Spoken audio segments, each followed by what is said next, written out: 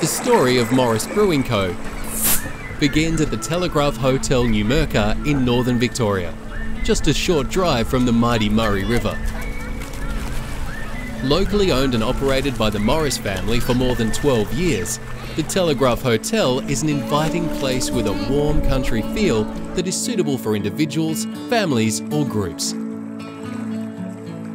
As beer enthusiasts, the Morris family began brewing their own beer in 2019. They have continued working towards creating a beer that represents where they come from, tastes good, and will be enjoyed by locals and visitors to the region. Now they are launching their very first beer from Morris Brewing Co the Murray River Pale Ale. Back last year we decided to try something different for the pub and try making our own beer. It's been our passion for many years to have our own brew that people in Numurkah and area could enjoy.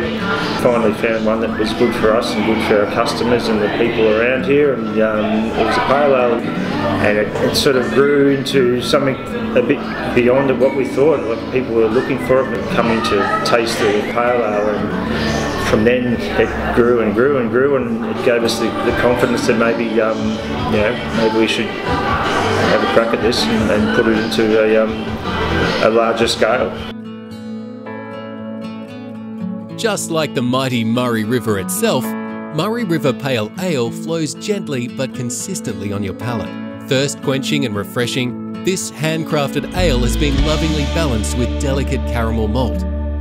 Just like the mighty Murray, there is a natural beauty to this pale ale that leaves a lasting impression on every drinker. I'm not a beer drinker, but I like it. Loving it. Drink it all day. I love this stuff.